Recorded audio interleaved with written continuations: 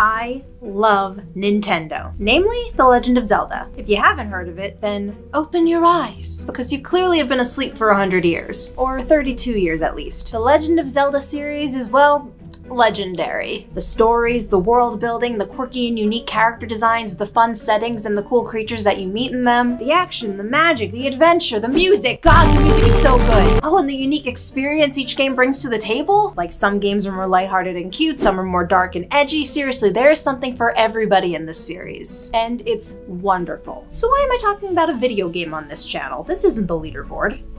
Subscribe. While I was live streaming on my Twitch the other day, not Zelda, but I will eventually, somebody in the chat brought up a fascinating question. Was The Legend of Zelda inspired by the Black Cauldron? Uh, I don't know. It's been over a decade since I've watched it, but a potential conspiracy where I can talk about both Nintendo and Disney? You're damn right I'm gonna cover it. I'm Arielle with Channel Frederator, and it's time to press start. So, alright, when talking about medieval, post-Tolkien fantasies like these two, by post-Tolkien, I mean any fantasy that's come out in the decades after the genre-defining Lord of the Rings was written, you expect to see all of the cliches. You've got your castles with kings and queens and other royalty. They have their knights and their heroes of all kinds wielding their swords and shields. They're surrounded by fantastical creatures like fairies, dwarves, and elves. And they're all fighting powerful sorcerers and monsters and witches and goblins, and there's magic involved, and you know a dragon's gonna show up eventually, blah, blah, blah, blah, blah. You know what I'm talking about. All of these elements are fine and good. Great even. I love dragons. But it's what you do with these elements that makes your fantasy unique. And our claim today is that Nintendo's The Legend of Zelda drew inspiration from Disney's The Black Cauldron. When you think about what I just said about cliches, you could honestly make that claim about any two European style fantasy stories, couldn't you? Before I get into the argument, maybe I should familiarize you with both of our subjects, at least a little. The very first Legend of Zelda game came out on the original Nintendo Entertainment System, or NES in February of 1986. From your top-down perspective, you played as a little pixelated elf boy named Link who was very suddenly dropped into an adventure. Games were very straightforward back then. As Link, the first thing you do is enter a cave and the random old man says the famous phrase, It's dangerous to go alone, take this! Hands you a magical sword and then you're off to save Princess Zelda from the evil King Ganon. There's a large map you get to explore, there are secrets to be discovered, monsters to fight, and your arsenal of different weapons you can choose to fight with. Frankly, you can tackle the different dungeons in any order you want if you're smart about it. And for a game of that time period, all this was pretty impressive. Now over time, it's grown so much bigger and grander. Now it's got this whole mythos and a history and a timeline. It has recurring characters that we love and beautifully iconic music that we're familiar with. As a person who got into the Zelda series by playing the later games, it's amazing to look back and see its foundation. You know, what Nintendo built upon. Somehow in 16 bits, the land of Hyrule still feels like home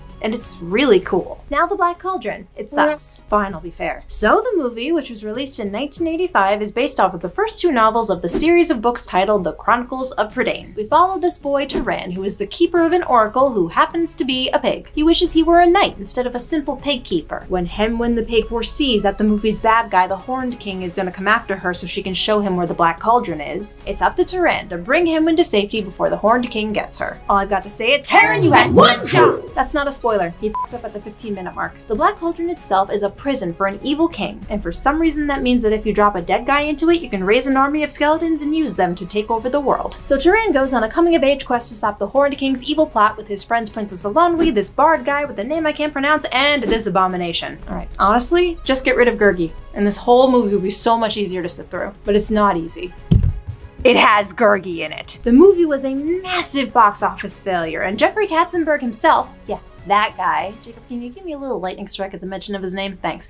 Jeffrey Katzenberg, who had just started his job as the head of Disney Animation at the time, has been quoted saying, The story was a once in a lifetime opportunity, and it was heartbreaking to see such wonderful material wasted. Honestly, after everything I've read, this is one of his nicer quotes. He hated this flick. But the source material is apparently way better, which is probably why it's on Disney's upcoming live action movie list. They want to give it another shot. That being said, I'm not going to go into details about the Chronicles of Prydain books, because to be clear, our theory is that The Legend of Zelda pulled from the existing movie alone. Plus, being honest, I haven't read them. But hey, if anyone in the comments has read the books and has anything to add by the end of this video, by all means let us know. I'm curious. So here we are. We have two pieces of fantasy media and they're both kind of doing their own thing. Where does the alleged overlap come from? Is it because there's a boy protagonist in both the game and the movie who wears green and wields a sword? Is it because there's also a blonde princess in pink and purple and they're all trying to stop an evil king from taking over? Eh. While some of that is a coincidence, that's just still your basic European style fantasy I was talking about earlier. At its core, you know, the hero, princess, evil king formula, that also describes Mario. When I sat down to watch The Black Cauldron for the first time as an adult, I was concerned that this was all I would have to back this theory up. But it surprised me. Not that it was better than I remembered. Oh god, no. I'm sorry, can you guys also leave in the comments why there's a cult following for this? It's aesthetics, right? It's gotta be aesthetics. No, no, no. It was the specific evidence I found to back up the theory. I'll walk you through my train of thought. My notes started out very unimpressed. I wrote down right at the start that they are both based on Welsh mythology, which, again, European fantasy, castles and dragons, it's a thing. The opening narration of Cauldron tells us the story of how the Black Cauldron was used to seal away their demon king. And yeah, Ganondorf is also a demon king who's been sealed away his fair share of times. Um, okay, but how many times have we heard that one? Taran wears a green tunic, we got that He wants to wield a sword. He wants to be a hero. He wants adventure in the great wide somewhere. They mention he has courage, but that's grasping at straws. I'm a reporter. I need something big. Lots and lots of complaints about Gurgi and Oh, I questioned why they would name a pig hen when they live on a farm. That's gotta be confusing. Ah, here we go. So Princess Eilonwy makes her way into the film. She's a blonde like Zelda and she has a similar color scheme on her dress. I already knew her design going in, so that was no surprise, but what grabbed my attention was her floating, glowy orb companion. Dude, random is that? See, if you're at least familiar with The Legend of Zelda Ocarina of Time and or its direct sequel Majora's Mask, you would know that Link runs around with a fairy friend who floats around his head the entire game. It's just a circle of light, an orb with wings. Eilonwy's orb is just a little bauble of magic and the movie eventually does show us actual fairies, but the orb was still sentient and the way that it moved and acted reminded me so much of Link's fairy pals that I just couldn't ignore it. At that point I figured, that must be it. That must be why people compare the movie to the games. Nope.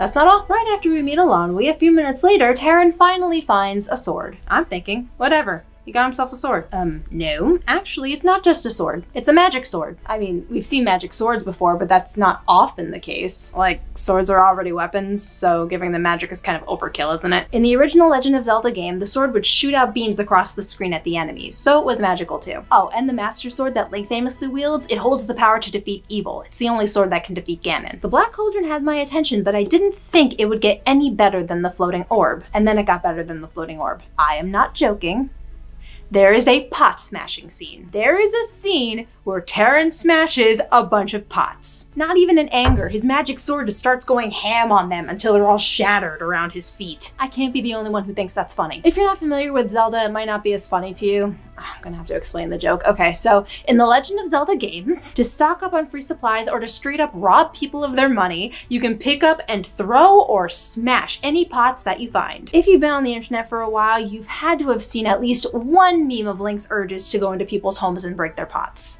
Taran smashes pots? Theory confirmed. Oh wait, no, not yet. I have one more thing for you. So the rest of the movie rolls on by. I hated it. It ends abruptly, and then I just sat there for a little while on my phone, just letting the credits roll and letting the music play. Eventually I got up, I turned off my TV, and I walked away. And as I was making tea in my kitchen, I found myself humming Saria's song from Zelda, the song that plays in the infamous Lost Woods. It's a very popular Zelda song, listen.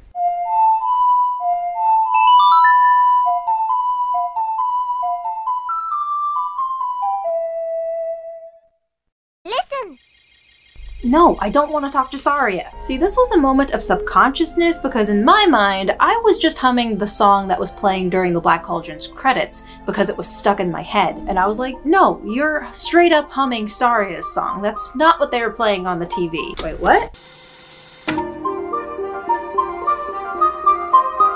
The Black Cauldron credits music uses the same three key notes as Saria's song. Listen to the two back to back, and it sounds like one is trying to be an off brand, trying not to get a copyright strike version of the other. Are you kidding me with that? Now, I know what some of you are already thinking. Let's get right into this. What I realized when introduced to this theory is that when people ask this question, they are referring to the original 1986 NES Zelda game that I was talking about before. This is probably because both Zelda and the Black Cauldron came out around the same time, but too close to the same time? Usually the answer to this question is a solid no. Black Cauldron is a 1985 film, remember? Development on the original Legend of Zelda started in 1984. Unless Zelda's creator Shigeru Miyamoto had an in with Disney and knew what they were working on, there's no way Nintendo would have seen the movie in time to make any changes. In fact, The Black Cauldron may have been released in America in 85, but it reached Japan in 86 when Zelda was already on the shelves. So, the magic sword, the colors of their outfits, the Demon King, those are all just coincidence. However, the floaty glowing orb fairies didn't appear in The Legend of Zelda until Ocarina of Time in 1998, and Breaking Pots started with The Legend of Zelda A Link to the Past in 1992. The Black Cauldron had been out for a while then, so who says they didn't look back at this forgotten Disney movie and go, hey,